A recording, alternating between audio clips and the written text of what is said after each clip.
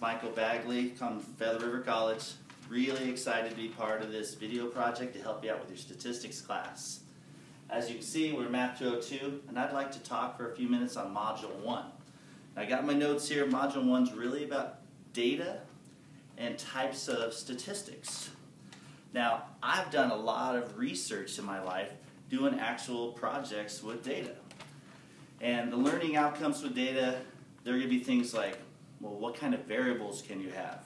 And I think these questions will make sense as you're reading the materials. But I like to say if I give you some concrete examples, it'll feel better. So two main types of data, continuous data and discrete data. Well, continuous means like weight. You can weigh 151.22 pounds and keep going on any part on a number line. But discrete data is categorical data, kind of like on a survey. One is you're not happy, two is you're somewhat happy, three is neutral, five is very happy. You really don't have 1.2 on a categorical scale. Now, one thing I'd like to share with you is as you get advanced statistics, you can actually model categorical data as continuous. But the good news in the beginning, just know what we try to communicate with you on the different types. Now, what are some qualitative variables? I like to say qualitative variables are those ones that are categorical, like um, age group, or if you're in the military, your rank. They're, they're categorical, they're more like labels. Whereas quantitative data, kind of the number cruncher, math type, you know, tough stuff, not social science, but more the science, science, engineering science. Quantitative data would be numerical, um, such as, you know, your, your age or, again, your height in inches. And things that when you really want to get a number like how many responses you can get correct will be quantitative, whereas qualitative might be did you do well, average, or poor. Um, some other key concepts have to do with um, what is an independent variable versus a dependent variable.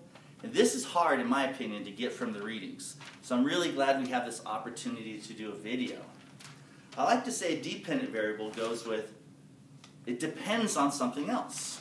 For instance, if I wanted to study the impact of how much time you put into doing statistics homework and your grade on a statistics exam, well, the dependent variable would be the score you got or the grade.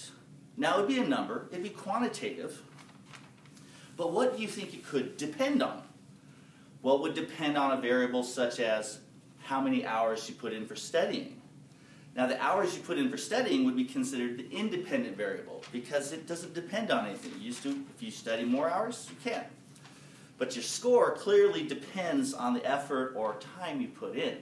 So that's a good explanation of dependent versus independent variables.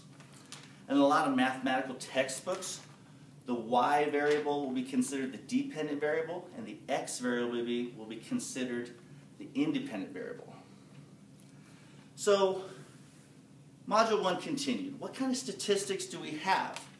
And you'll see it. There's really two main branches of statistics.